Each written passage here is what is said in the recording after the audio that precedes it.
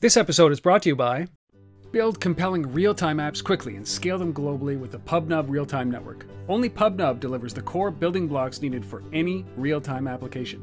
Find out for yourself by signing up for free today. Visit pubnub.com. Keller Rinaudo thinks there's an injustice being done to robots. They are too expensive for the common person, and no one is doing anything about it, so they end up stuck in car manufacturing plants and not in our living rooms. This is the single driving force behind Romotive, the company he co founded with partners Phu and Peter. Romotive is democratizing the affordable robot by starting simple. Meet Romo, the little robot that could. Combining smartphones and a mobile base, Romo enters our lives not as a dance partner, but as a natural extension to the things we already do. What you don't see when Romo boots around a room, or gets scared, or smiles, is that spark of imagination that will hopefully inspire a legion of robot loving nerds that take this simple first step and run with it.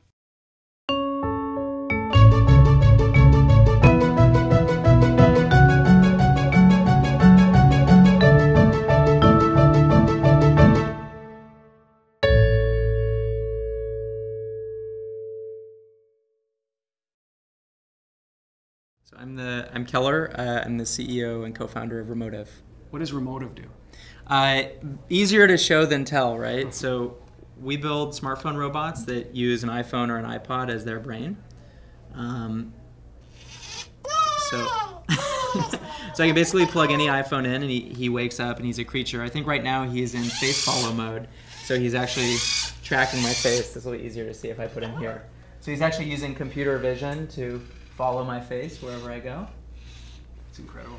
Yeah, and so basically our goal is to create robots that. Uh, I I mean, we, we were nerds when we were growing up. We watched Star Trek and Star Wars and um, always figured that robots would make our lives awesome. Robots remain one of the great unfulfilled promises of science fiction, largely because the robots today that, that larger companies are making are too complicated and too expensive for normal people. Is that, the, is that the biggest challenge right now? Is that the, the fact that, uh, I mean, we were just talking about this a second ago, is that I'm not really comfortable with having another humanoid in there that is a robot. Seems too Yeah. complicated. Yeah, I, I, um, I think that that's absolutely the challenge. I think that people are generally here. I'm gonna, I'm gonna put Romo into a different mode, so he's a little less excited. Be quiet. Um, so I think generally that that's absolutely.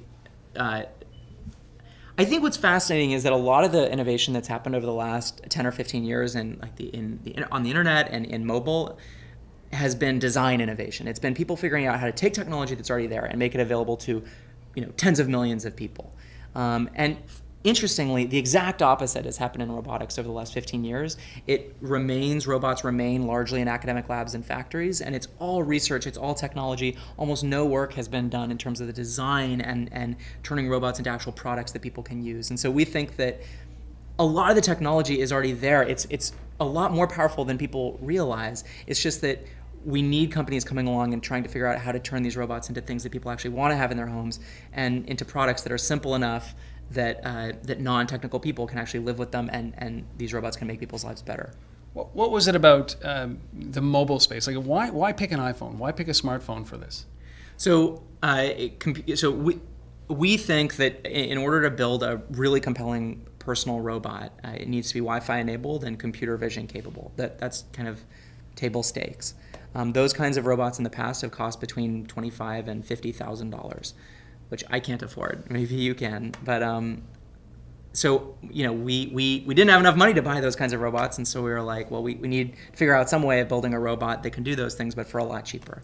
And the advantage of using smart devices is that uh, they're not only ubiquitous at this point but they're almost extraneous. A lot of families have an extra ipod or an extra old iphone sitting around. There's kind of a question of what are you going to do with these devices anyway?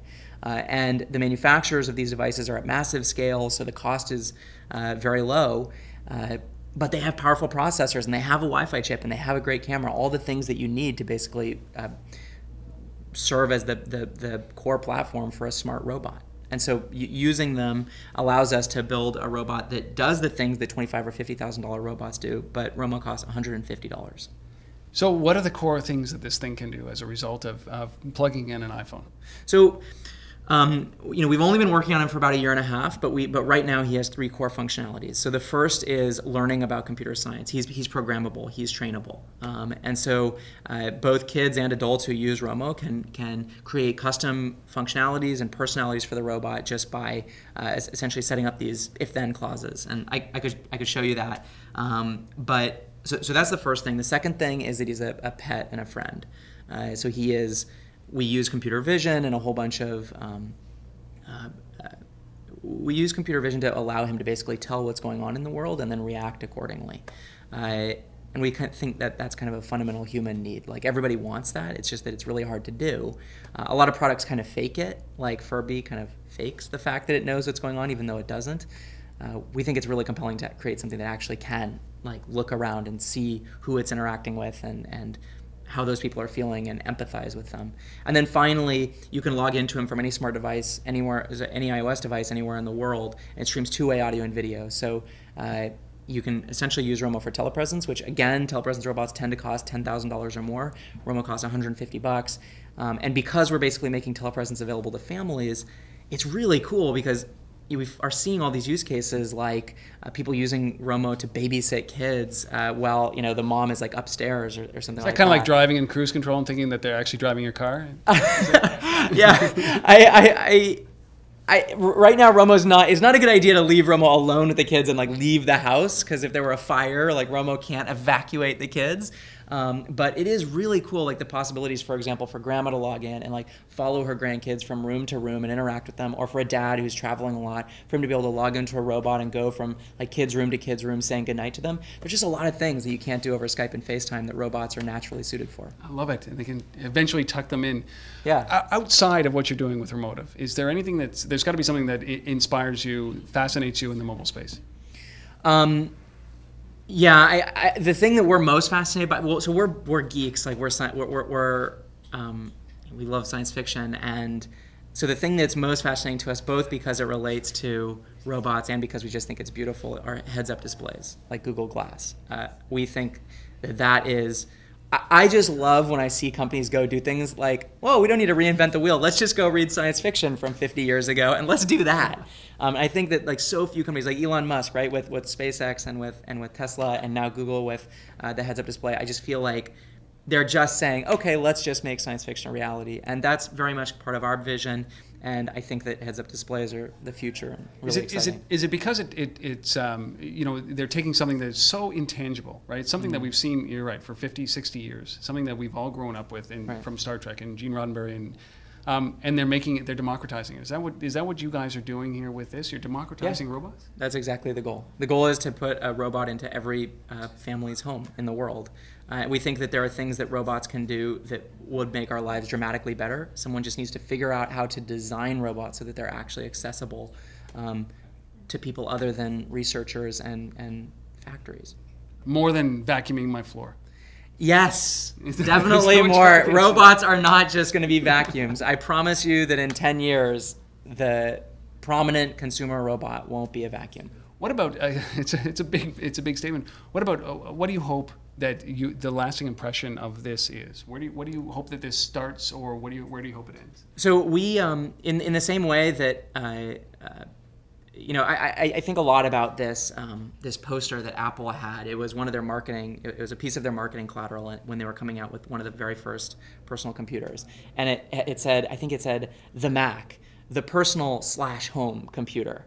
And what's so fascinating about this is they had no idea whether a personal computer was a good idea or not when they were building it. And in fact, Apple they didn't, weren't even the people who discovered the killer use case for their own product. That was done by Dan Bricklin at VisiCalc, uh, at Harvard Business School when he invented VisiCalc, which was the first spreadsheet software. So we're very much of the opinion that we aren't positive what the killer use case in robotics is. So the most important thing to us is creating an ecosystem where people can actually build software for Romo, where people can use our SDK to create new behaviors, new functionalities, new personalities. Um, make it an make it a, a, an open ecosystem so that whether you're you know uh, uh, 10 years old or 30 years old, people should be able to train robots to do new things and um, and make them better. Like we're only a team of 15 people. There's only so much we can do. So our goal is to, if we can enable a thousand people, then I think that that's that's what it's going to take to basically make robots ubiquitous in our lives. An army of robot loving nerds. Yeah, that That's sounds wicked. good. Thank you for doing this. I appreciate your time, man. Yeah, thanks.